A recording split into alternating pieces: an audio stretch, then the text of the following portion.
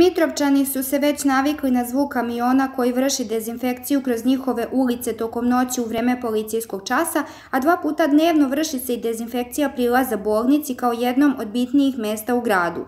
Zadovoljni su što se posebna pažnja poklanja dezinfekciju u vreme epidemije koronavirusa. Uglavnom noću idu. E, to nisam prilike. A kako vam, jel mislite da je to dobra ideja sad?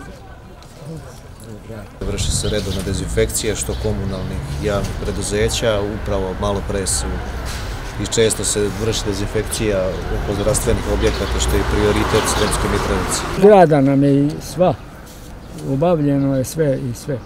Jeste zadovoljni? Jesam. Dezinfekcija prilaza bolnici u nadležnost je javno-komunalnog preduzeća Komunalije koje je isprovodi ujutru i uveče sredstvom natrium hipohlorita dok je za unutrašnjost bolnice nadležna opšta bolnica u Sremskoj Mitrovici. Ono što sad trenutno radimo jeste svakodnevno, odnosno dva puta u toku dana vršimo e, dezinfekciju natrium hipohloritom prilaza opštoj bolnici.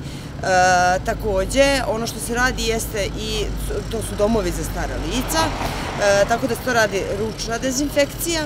E, mi nastojimo da obezbedimo e, sve uslove da, za same ne samo pacijente, nego i za zaposlene u opštoj bolnici. Sem bolnice i sve druge površine dezinfikuju se ovim sredstvom koje proizvodi javno-komunalno preduzeće Vodovod, a sredstvo je do nedavno bilo dostupno i građanima Mitrovice i okolnih sela, dok će se ponovna postavka ovih rezervoara obaviti po potrebi građanstva.